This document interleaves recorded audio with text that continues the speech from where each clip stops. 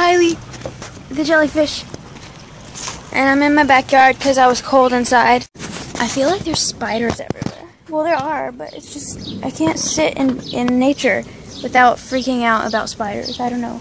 Do, doesn't it bother you sometimes? Like, you love nature, but you hate spiders.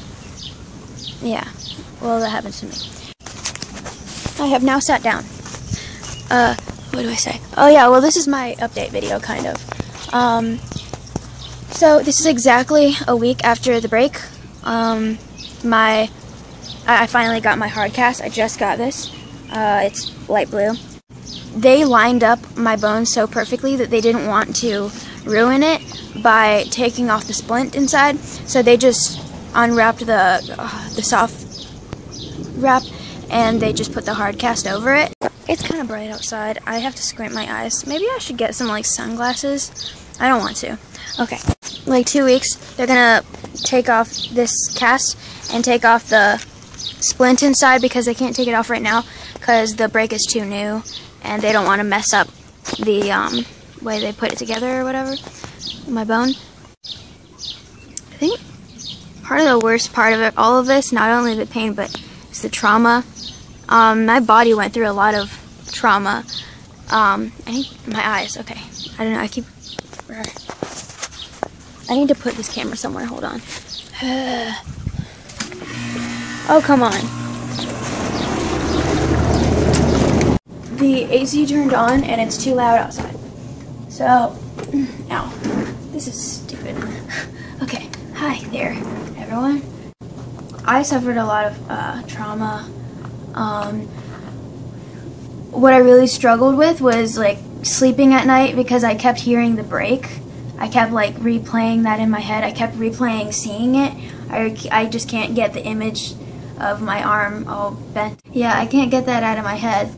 We were eating chips and guacamole, and you know how, you know how thick guacamole is. Like your chip always breaks in it, and it, it just happened so quickly. It just it, it broke. Like the the chip snapped in the um, guacamole and I flinched because it sounded like my arm breaking. That was yeah. That that's an example of how I can't get it out of my head.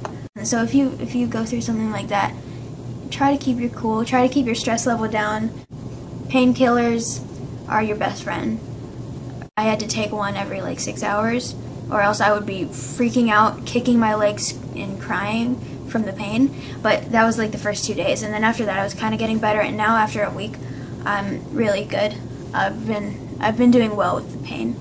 Easier. The first two days, I would say, are always the worst, most likely, for probably everyone. You know, getting used to things. Like I got used to it because I, I wasn't in school and I was just at home doing nothing really, so I had to like figure out how I was gonna do home things, and now I guess I'm to go to school and figure out how I do school things. Because this is all new to me. I've never broken a bone. Mine is called like a con a contrast fracture or something, but there's there's one case that's like way worse. Like the one case that's worse, completely worse than my break, is the one where the bones pop out.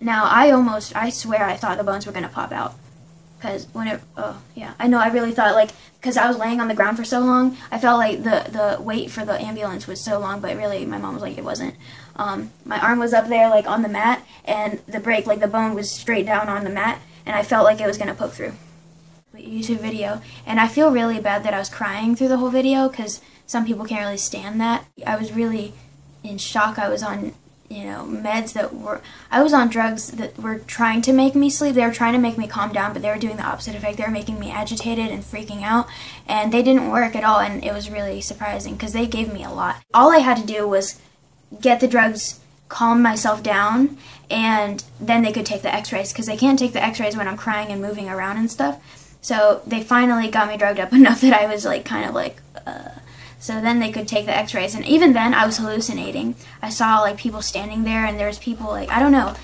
I told you like in the other video there's there was always someone like a child or something laying there next to me. It was so weird. And I didn't even think it was weird when I was seeing it, but it was just like what is this?